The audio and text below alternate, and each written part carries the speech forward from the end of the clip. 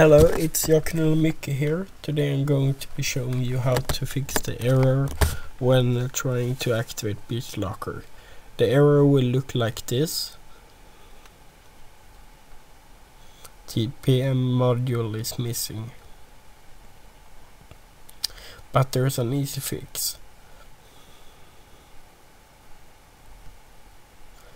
All you gotta do is type gpedit dot MSC then enter.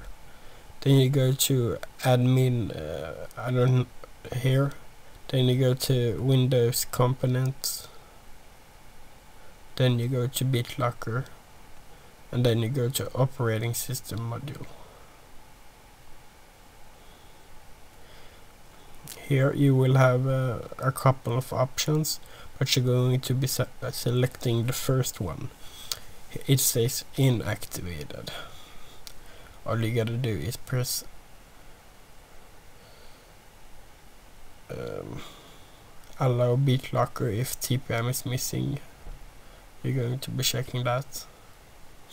Then you press OK to finish. Now it should work. Congrats